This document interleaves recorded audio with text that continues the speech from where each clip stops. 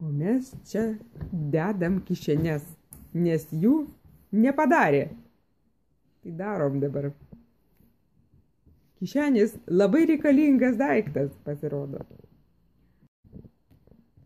O štai čia buvo nefunkcionali kišenė. Ir jau buvo.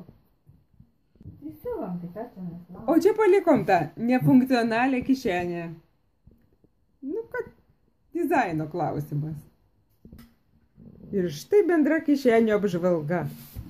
Dėmė tamsi, dėmė susiliejanti, dėmė tamsi ir, ir, ir išlikusi dėmė tokia su dėmyte.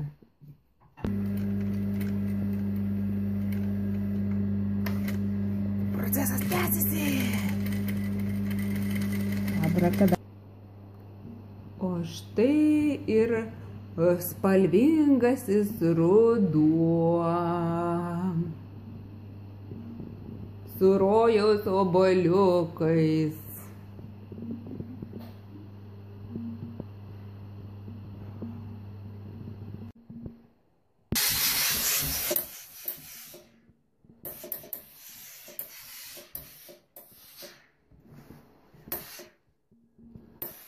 No, straukit rezultatas